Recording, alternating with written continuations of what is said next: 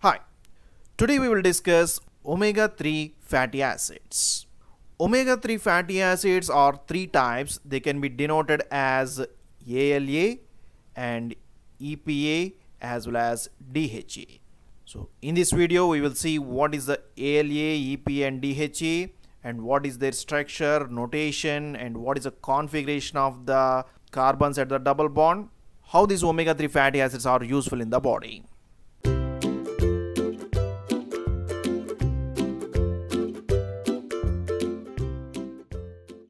So first of all, let us see what is omega notation. Suppose let us take a, a fatty acid and this fatty acid is having the n number of carbons and actually we have to give the numbering from the carboxylic acid because the carboxylic acid is the principal functional group. But if we are going to give the numbering from the other terminal, so suppose here 1, 2, 3, we can observe one of the double bond at the third position from the other terminal. That means the first double bond is present at the third position from the other terminal. So this fatty acid is indicated as uh, omega-3 fatty acid. So simply here omega indicates the numbering from the terminal other than the carboxylic acid. So when we give the numbering from this terminal, the first double bond is present at the third position. So this is a omega-3 fatty acid. And suppose this fatty acid is having the n number of carbons, then this fatty acid can also be denoted as n minus 3. That means the first double bond is present at a position n minus 3.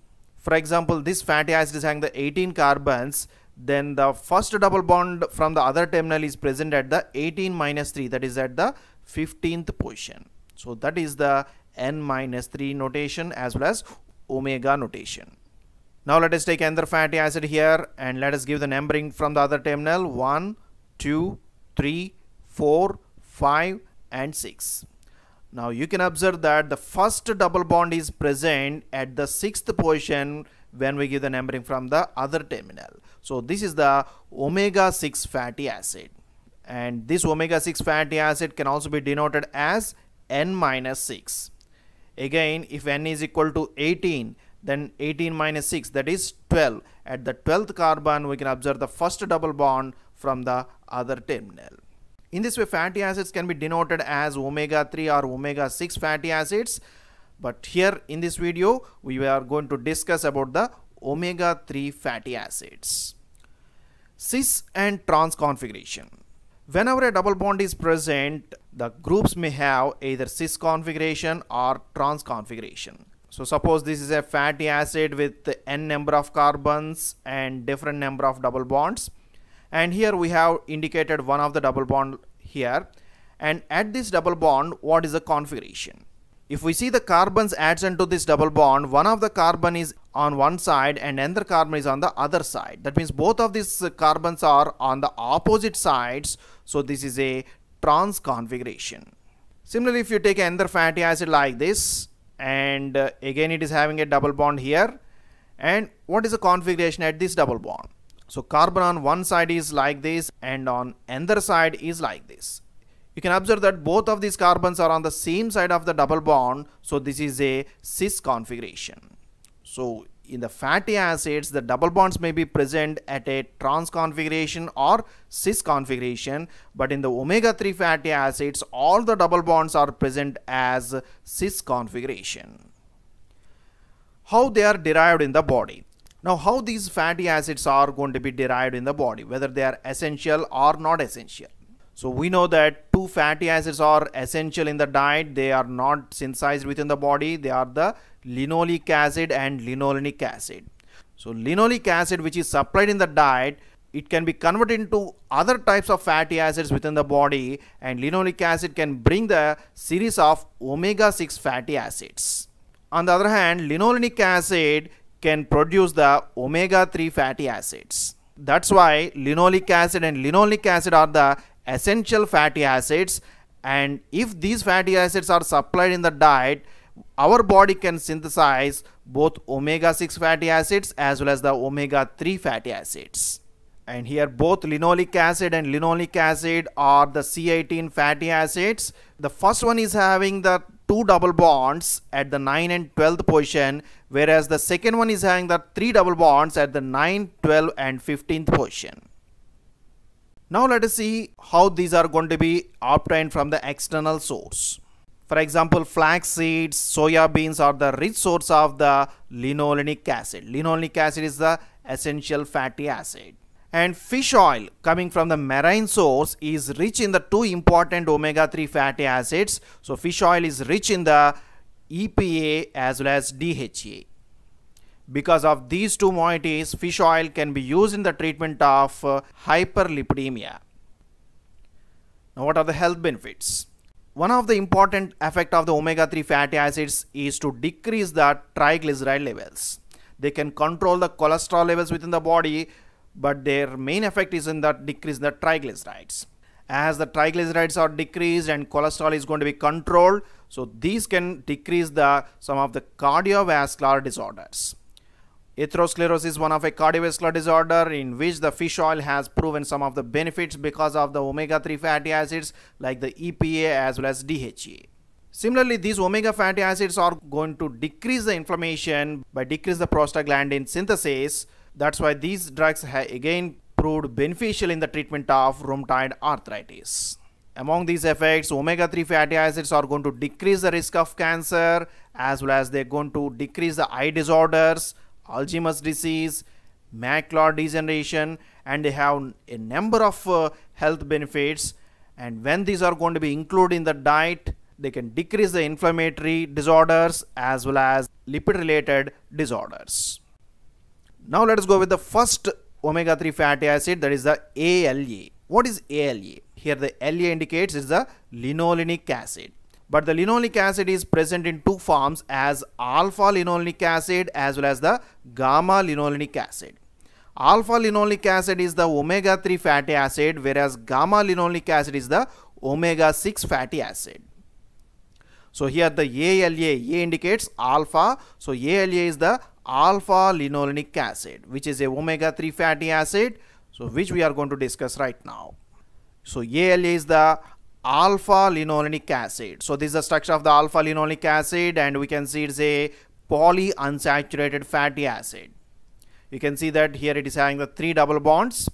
And let us give the numbering according to the IUPAC rules. So we have to start the numbering from the carboxylic acid. So 1, 2, 3, 4, 5, 6, 7, 8 and 9. You can see that the first double bond is present at the ninth position from the carboxylic acid terminal. Then 10 11 12 13 14 15 16 17 18 so this is a 18 carbon fatty acid with three double bonds.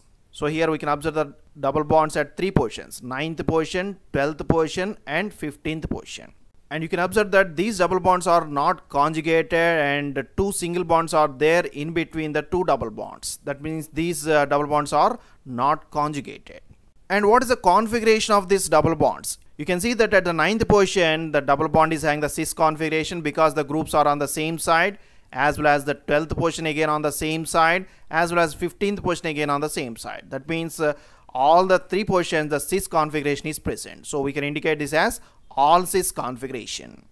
And what about this fatty acid whether it's omega 3 or omega 6? Let us give the numbering from the other terminal. So 1, 2, 3 we can observe the first double bond at the third carbon from the other terminal so this is the omega 3 fatty acid and uh, since this uh, fatty acid is having the 18 carbons we can indicate this as octa deca octa is the 8 deca is the 10 so octa deca is the 18 carbon fatty acid since it is having three double bonds we can indicate this as trienoic acid so that is the complete name of this alpha linolenic acid which is the 9 12 15 all cis octadeca trienoic acid. So this is a 18 carbon fatty acid with three double bonds. All the double bonds are having the cis configuration and it is having the first double bond from the other terminal at the third position. So it is the omega 3 fatty acid and again you can observe that it can be indicated as n minus 3 that means that first double bond from the other terminal is present at the n minus 3 position so here n is nothing but the 18 so 18 minus 3 that is the 15 you can easily observe that the first double bond from the other terminal is present at the 15th position when we give the numbering from the carboxylic acid. So this fatty acid can also be indicated as N minus 3. And uh, since it is having the 18 carbons along with 3 double bonds, so this fatty acid can also be indicated as 18 is to 3 where 18 is the number of carbons and 3 is the number of double bonds. So this is a 18 carbon fatty acid with 3 double bonds and it is a omega 3 fatty acid and the double bonds are present at the 9, 12 and 15th position and all the double bonds are having the cis configuration. So this is the ALA alpha linolenic acid. Next let us go with the EPA. What is EPA? EPA is the icosa pentaenoic acid. So this is a structure of EPA icosapentaenoic acid. Again we can start the numbering from the carboxylic acid. So 1, 2, 3, 4, 5. So here you can observe that the first double bond is present at the fifth position from the carboxylic acid terminal. 6, 7, 8, 9, 10, 11, 12, 13, 14, 15, 16, 17, 18, 19 and 20. So this is a 20 carbon fatty acid and we can observe the five double bonds at the fifth position, eighth position, 11th position, 14th position and 17th position. The position of these double bonds always differ by the 3. So 5, 8, 11, 14, 17. And you can also observe the configuration at all these double bonds as the cis configuration. So this is a 5, 8, 11, 14, 17 all cis configuration. And again if we see the double bond from the other terminal, the first double bond is present at the third position. So this is again omega 3 fatty acid. And since it is having the 20 carbon, so it is called as icosa. Icosa indicates the C20 and it is having the 5 double bonds so pentaenoic acid.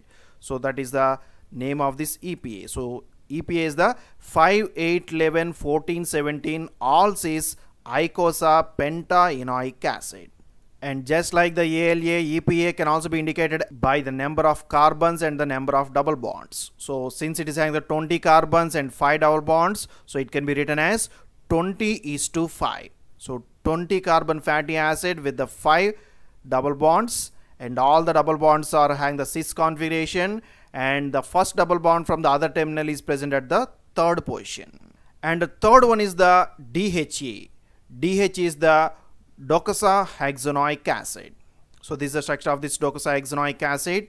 And again, let us start the numbering from the carboxylic acid. 1, 2, 3, 4. Now you can see that the double bond is somewhat shifted towards the carboxylic acid. The first double bond is present at the fourth position. Then 5, 6, 7, 8, 9, 10, 11, 12, 13, 14, 15, 16, 17, 18, 19, 20, 21 and 22. That means here chain length is also increased and we can observe that it's a C22 fatty acid. And it is having the 6 double bonds at 4, 7, 10, 13, 16 and 19th positions. And again, if we give the numbering from the other terminal, we can observe the first double bond at the third position. So again, it is a omega 3 fatty acid. And since it is having the 6 double bonds with all cis configuration, we can write it as 4, 7, 10, 13, 16, 19 all cis configuration. And since it is having the 22 carbons, so we can write docosa. Docosa indicates it's a 22 carbon and 6 double bonds as hexaenoic acid. So that is the complete name of the DHA.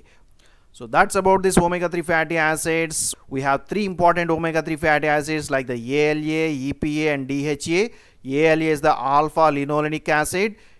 EPA is the icosapentaenoic acid and DHA is the docosahexaenoic acid. All these are the omega-3 fatty acids. These omega-3 fatty acids are having some of the health benefits by decreasing the inflammation in the body, by controlling the triglyceride levels as well as controlling the cholesterol levels and they also maintain the balance of the prostaglandin biosynthesis. By all of these, uh, they can decrease the inflammatory disorders and we can also get these omega-3 fatty acids from the external source. Particularly fish oil is a rich source of this icosapentaenoic acid and docosahexaenoic acid. Flaxseeds and soya beans are the rich source of the linolenic acid. so that's about these omega-3 fatty acids. If you like this video please subscribe to our channel. Thank you for watching